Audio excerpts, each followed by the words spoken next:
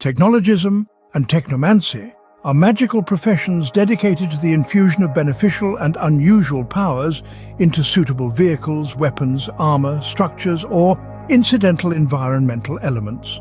The distinction between the two subclasses of this profession are the level of involvement in the enchantment and practical, mostly combat, usage of said technology. Technology designation for the native Earth, Aelder, technological development, which had already peaked and gone into decline before the arrival of humankind. Many of the facets of this style of mechanics and electrical invention resembles to a degree that of pre-ancient Earth Industrial Revolution artifacts. Although, because magic was widely practiced in parallel with its rise, variations of differing technologies that were abandoned by humanity such as elaborate steam and clockwork-powered machines, were feasible here and therefore developed into more complex and effective varieties. Technologists can wear enhanced plate from outset of their careers. This is augmented by mechanical means and enchanted to magnify the effect of the modest Verkings. They learn very rapidly, between third and fifth rank, to master the operation of mechanical clockwork armor, the take equivalent of exoskeleton. Technologists must eventually decide whether to accent their skills and efforts on the magical side of their work or to more brilliantly and diligently apply themselves to the improvement of their intricate mechanical automatons, armor, weapons, vehicles or structures.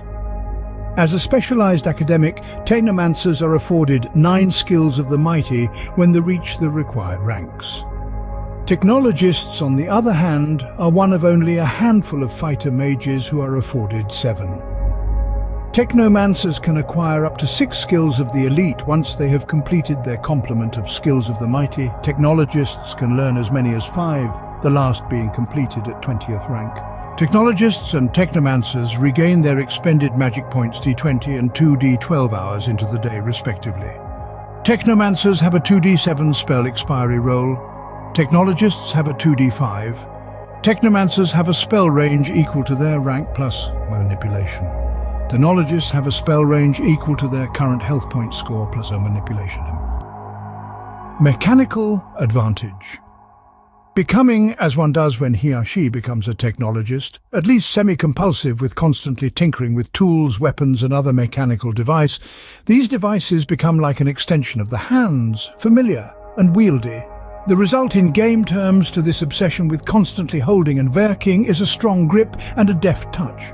Plus one armor bypass, damage and destruction is gained by technologists when using mechanical weapons of any kind.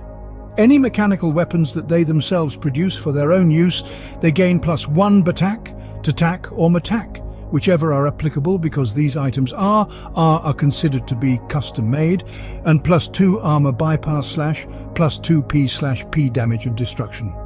In addition to these modifiers, mechanical advantage doubles the deficit suffered by someone facing a technologist in melee without a melee weapon to minus 10 defense.